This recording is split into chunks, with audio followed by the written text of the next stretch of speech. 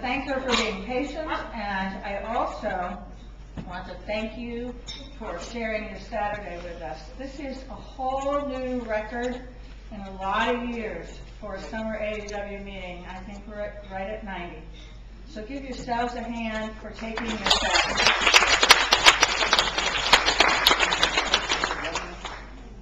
There are two pieces of paper in this avalanche that you have that you're going to need right now.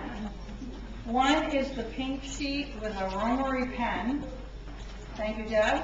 Uh, Which is the agenda, and it's not that short. Turn it over on the back.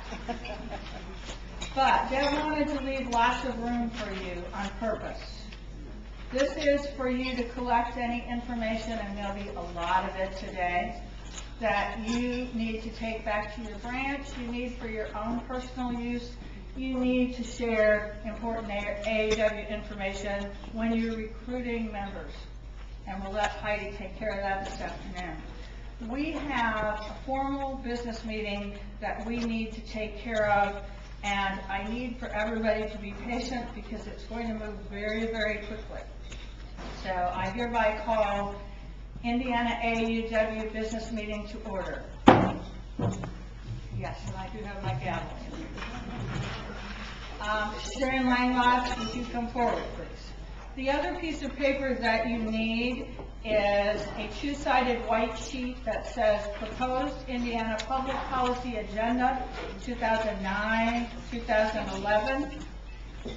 We are dealing with the front side of this page at this time only.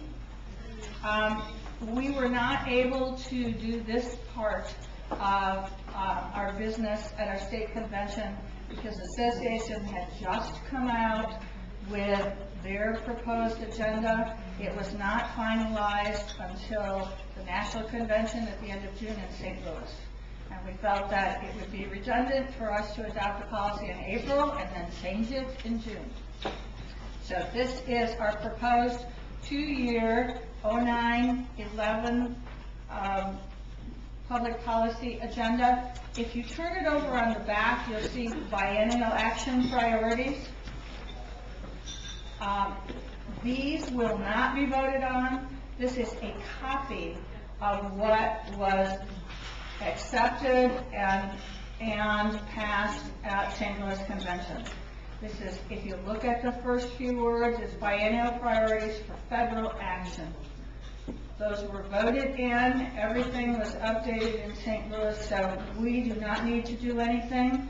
This is for every branch, it will be in our directory resource guide that you'll get this afternoon for every branch.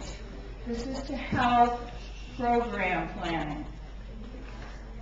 In the next Indiana Bulletin, you will find that there will be an article talking about mission-based programming, and I am going to just editorialize for 20 seconds.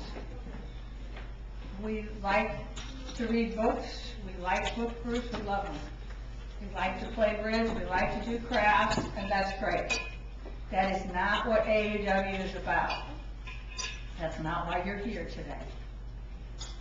And your, your programs in your branch need to reflect who AAUW is in your community. So we're trying to make that as, as easy for you as possible. So if you go back to the front of your page, I have to read a script, and for those of you that know me, this is not my bag. The chair of the Legislative Program Committee of Indiana, Sharon Langlotz, will now present the proposed legislative program for the coming biennium. This assembly today may amend this legislative program as each section is considered, and then the entire program will be adopted as presented or as amended. The legislative program is found on that white sheet, your handout.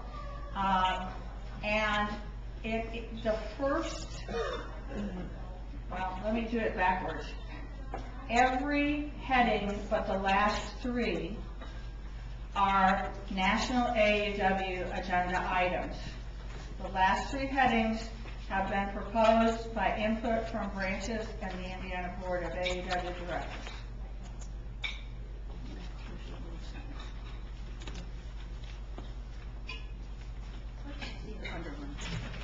On behalf of the Legislative Program Committee, I move the adoption of the State Legislative Program.